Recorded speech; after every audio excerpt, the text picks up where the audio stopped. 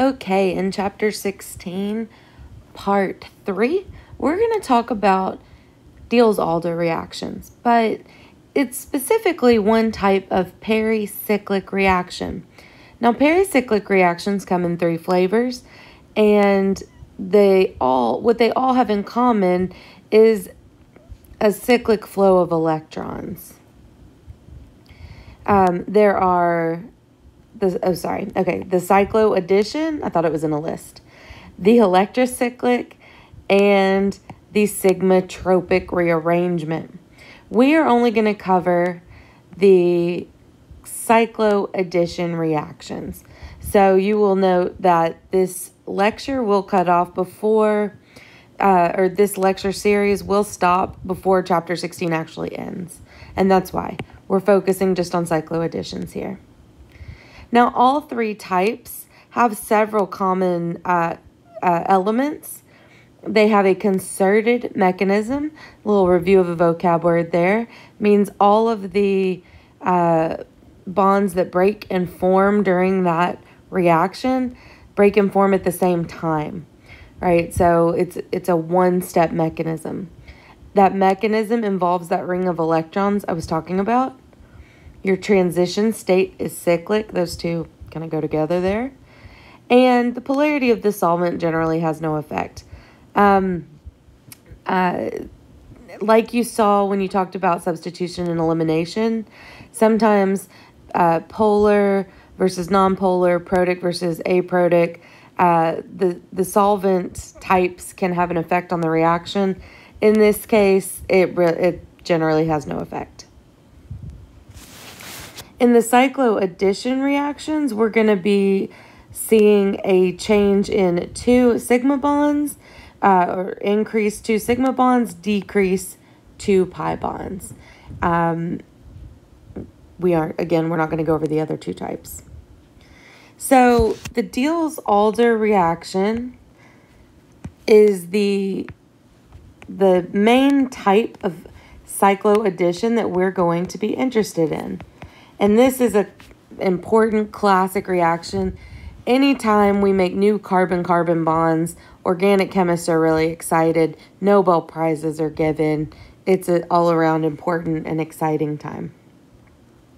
The main features of the Diels-Alder reaction are that it makes a cyclic product, a six-membered ring.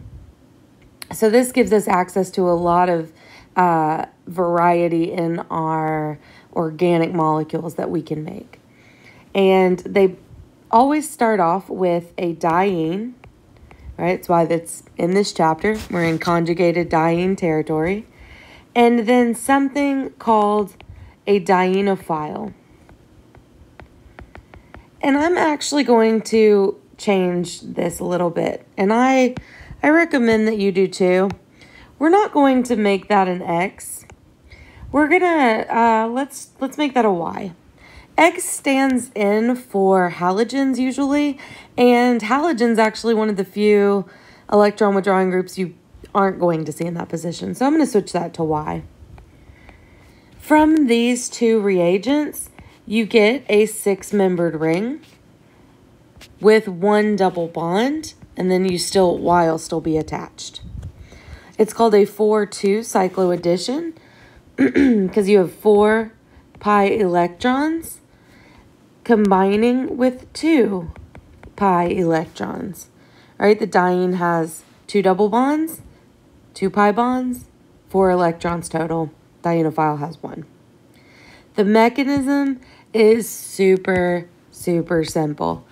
Something that you have to be careful with with sapling is where the arrow stops.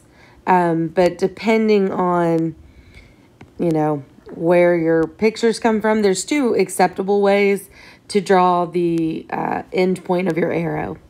One pi bond is going to break and it's going to form a sigma bond with a carbon in that di in that dienophile. Now you can't have five bonds on carbon, so it pushes that pair of pi electrons out and it forms a sigma bond with the other side of your diene. Again, we don't want to have five bonds on carbon. So that's what happens to those pi electrons. It forms this pi bond that you see in the product. Now you'll notice I very specifically made the arrows go to the to the atoms, right? Uh, the first arrow I drew goes to this carbon atom here because that's the electrons are forming that new sigma bond. This arrow starts at the pi bond and ends at this carbon right here. In the PowerPoint slide, however, you do see the pi electrons kind of going into this space here because they are creating that sigma bond. That's perfectly okay if you're drawing it freehand. But just keep in mind, sapling might want you to actually direct it to the atom. Both are fine for me. It's a one-step mechanism, right? It's concerted. All of the pi bonds that are breaking, the sigma bonds that are forming, it's all happening at one time. So you just see one maxima uh, on this reaction coordinate. You see the transition state up at the top is that cyclic uh, transition state. You have that ring of electrons. This reaction is reversible right? So when you were work when you're working on your lab, you'll note there's a lot of discussion about not heating uh, the product too much when you're doing the recrystallization because it can reverse, right? The reverse reaction, otherwise known as retro Diels-Alder, it just breaks that product up back into the starting materials it's usually under high heat. All right, so I like to study this reaction both forwards and backwards. You're going to find various practice problems where we I give you starting materials and ask you to move forward, or I give you the product and I ask you to move back. That's where it's really important to know where those new sigma bonds are going to form. We're going to get lots of practice on this as we move through this lecture. there is a discussion of uh, thermodynamics in this chapter, you welcome to get into it. I am not going to ask you anything about delta G, delta H, or delta S. So we're going to take a closer look at the diene and the dienophile, at the two different reagents. So let's start off with the diene. Now, the simplest diene and dienophile. Are we starting with the diene or the diene? Uh, no. We're going to start off with the dienophile. Silly me. Okay. Now, you can get a reaction between uh, 1,3-butadiene and ethene, but it's difficult. You have to apply a lot of heat, and the yield isn't particularly good. And so this reaction works best if we have some sort of electron withdrawing group. Electron withdrawing because there needs to be some impetus for this reaction to start. For these electrons to be attracted to that dienophile, it's really helpful if there is something that is pulling electrons away so you do actually have a partial positive right? Everything happens with chemical reactions because negatives attracted to positive, right? And so what kind of electron groups will you see? Well, Y will typically be some sort of carbonyl, right? If the carbonyl is directly attached to the double bond, it'll be a great withdrawing group. Now, what's attached to it? It could be a hydrogen, it could be an R group, it could be an OR, an ester, it could be a carboxylic acid. The only other group I would ask you to know would be the nitrile. A nitrile is also a good electron withdrawing group. Nitrogen is another hetero, hetero atom like oxygen. So these are the electron withdrawing groups you are most likely going to see. And then just note, we don't have to use 200 degrees Celsius. We get 100% yield. It makes all the difference in the Diels-Alder reaction. as we are studying the dienophile, something that we want to take note of stereochemistry is retained. So if your dienophile is, and we'll just put Y groups, is a cis reagent, then it will lead to a cis product. And if it's trans, you will get a trans product. So you have a couple of examples over here. I'm going to draw something slightly different just so we have more examples. But let's say we have uh, CHO. CHO is the standard abbreviation for an aldehyde. My Diels-Alder reaction, I'm going to have one, two, three arrows if I'm going to show my mechanism. I'm going to make a ring. My double bond shifted. Now, the aldehydes are trans to one another, so they are going to be trans to each other on the ring. One wedge, one dash. The um, you'd also have an enantiomer. Sometimes you will see it written like this plus en. You don't have to write it, but that's what that's the reason. It would just be changing the position of the wedge and the dash. If you have anything on the diene, let's say there's a, let's just put a methyl group there. Nothing would happen to it. Let's, in this case, let's use nitriles. And they're cis to one another. Well, in the product, again, one, two, three. The product, we are going to shift that double bond. That methyl group doesn't go anywhere. And now either they are both going to be wedge or they are both going to be dash. In this case, you'd also have an enantiomer because it's not symmetric. Again, you don't have to say plus an enantiomer. But you're going to maintain that stereochemistry. Another type of dienophile that you may encounter and you need to be prepared for is the alkyne. If you put an electron withdrawing group on an alkyne, uh, in fact, let's just use Y again here. It works just as well.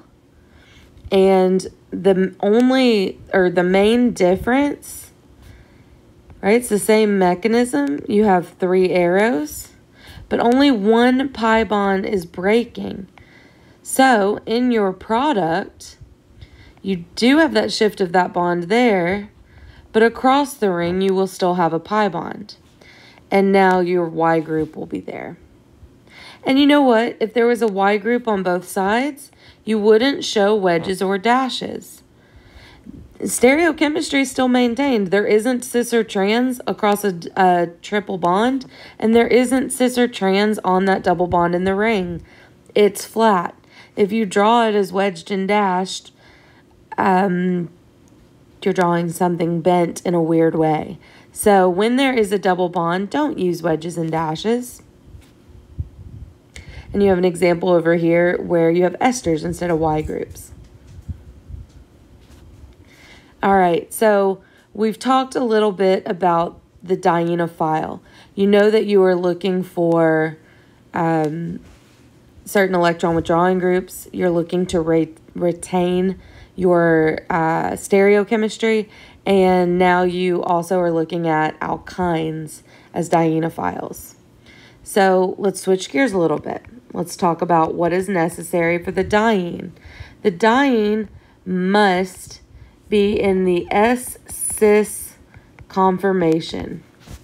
So most of the time we write 1, 3 butene in, you know, in this uh, is the S-trans conformer. Because that's usually the easiest to draw. It is also the most stable, but we know that there is rotation around that single bond. So it is spending some of its time as S-cis, which is good. It needs to be able to do that to react as in a Diels-Alder. That allows us uh, to make a comparison. So before we move on, I want to ask a question. If we were comparing one uh, three butadiene with cyclopentadiene with uh, let's see this cyclohexadienyl type structure and I'm going to draw the other one down here because I want to space it out. And this diene.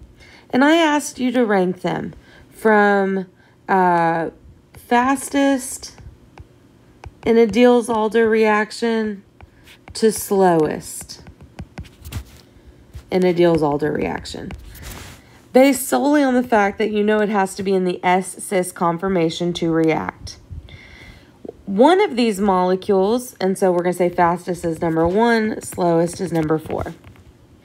Number one has got to be cyclopentadiene because every single molecule will be in the S-cis conformation you can't rotate around that single bond because it's locked into a ring. So every single molecule that has enough energy to react will react because it's in the right conformation. Now, I'm going to take a moment because both this one can rotate and this one can rotate. This one, however, cannot rotate. It is locked into S trans so this one, I mean, we can call it number four, but it doesn't react. It's not slow. It just, it does nothing. It can never rotate and get in the S-cis conformation, so it will never make a Diels-Alder product. So now it's just down to two and three.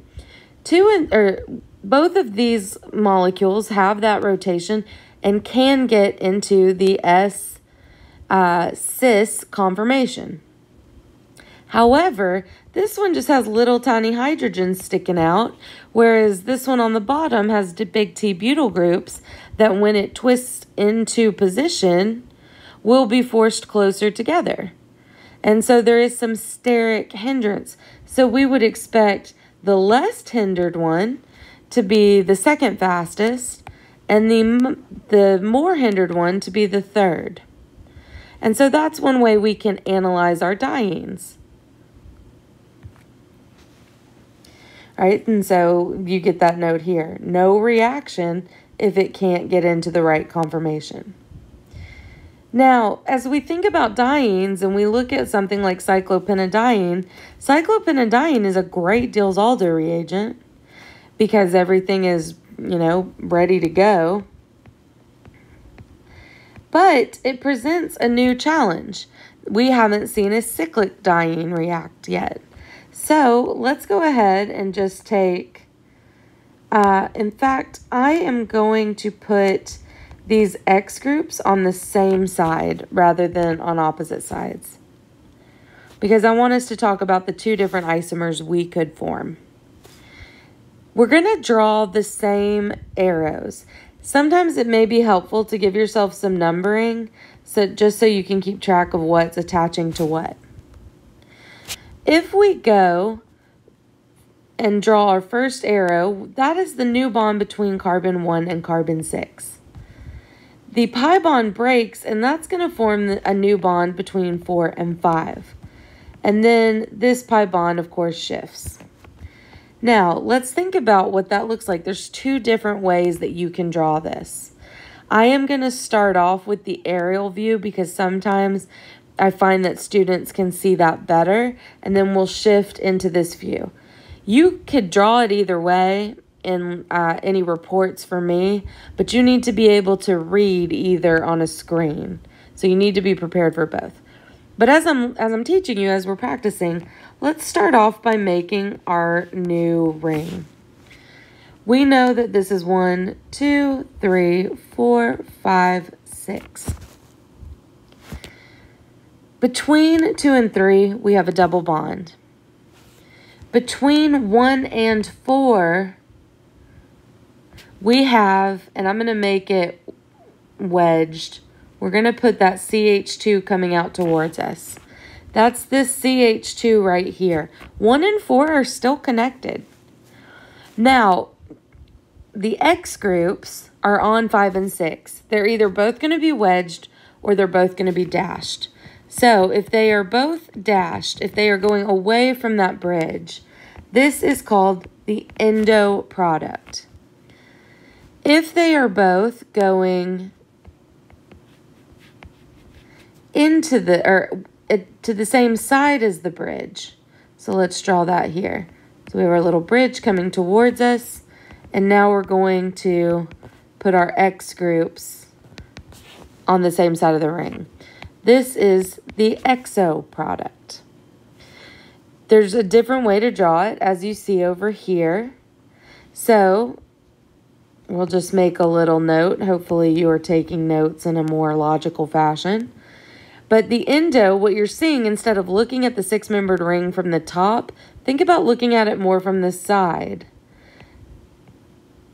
So you have your six-membered ring, and this is one, two, three, four, five, and six.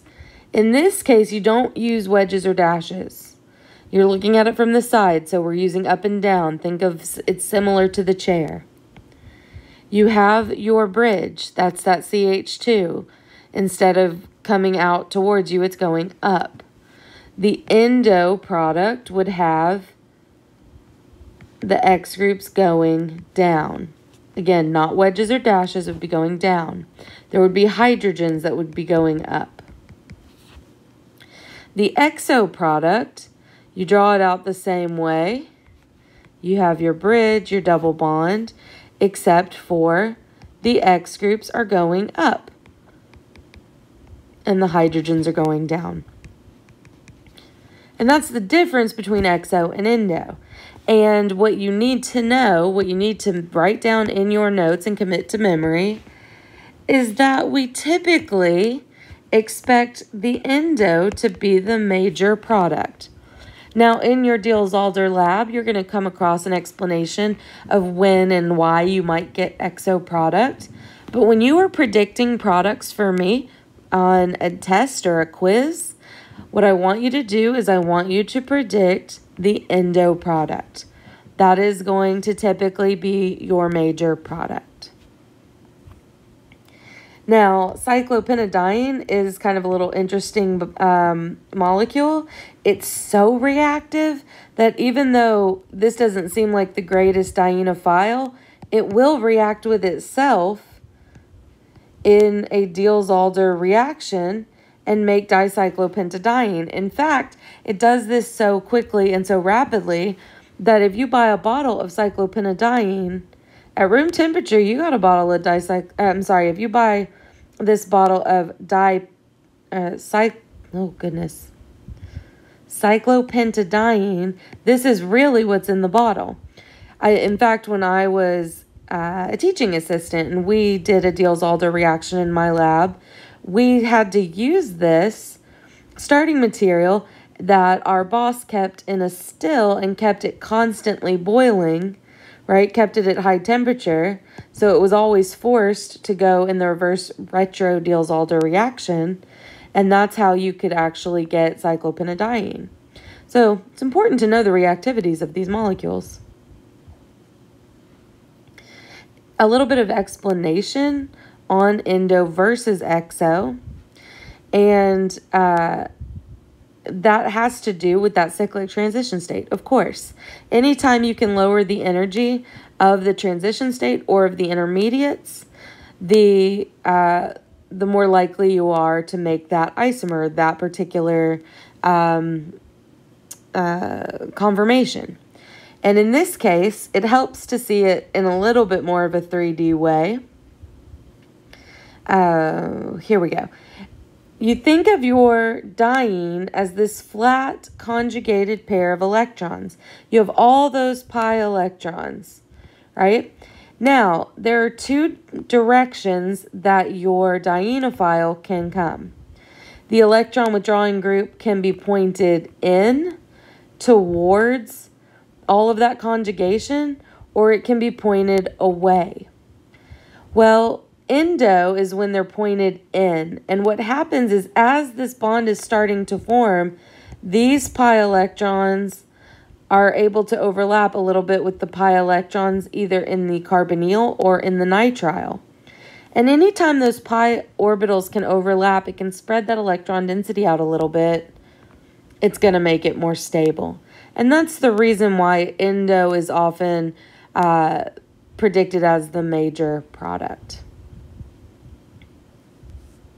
Right? It's you see that thermodynamic versus kinetic again. So what I want you to think of, because a lot of times we like to do Diels-Alder reactions because you don't have to heat them up a lot, we often get that kinetic product. It forms faster. With a lot of heat, we may see exo. But again, please make note. I want you predicting endo, and then you can explain exo in your uh, using your lab manual in your lab. We are going to finish up the conversation about regioselectivity and the Diels-Alder reaction in the fourth and final part of chapter 16.